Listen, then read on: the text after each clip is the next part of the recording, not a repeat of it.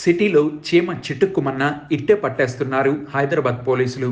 రీసెంట్గా తన ఇంటి ఆవరణలోని బోన్సాయి మొక్క చోరీకి గురైనట్లు మాజీ ఐపీఎస్ అధికారి అప్పారావు జూబ్లీహిల్స్ పోలీసులకు కంప్లైంట్ చేశారు. పన్నెండవ తేదీన కంప్లైంట్ నమోదు చేసుకున్న పోలీసులు శుక్రవారం మొక్కతో పాటు ఇద్దరు నిందితులను అరెస్ట్ చేశారు. ఇంటి ఆవరణతో పాటు చుట్టుపక్కల సీసీ కెమెరాలను పరిశీలించిన పోలీసులు వారిని అదుపులోకి తీసుకుని మొక్కను స్వాధీనం చేసుకున్నారు. ఈ మొక్క విలువ లక్షన్నర రూపాయలు ఉంటుందని తెలిపారు పోలీసులు. మొక్క ఎందుకు దొంగతనం చేయాల్సి వచ్చింది అనే విషయంపై విచారణ చేస్తున్నారు పోలీసులు.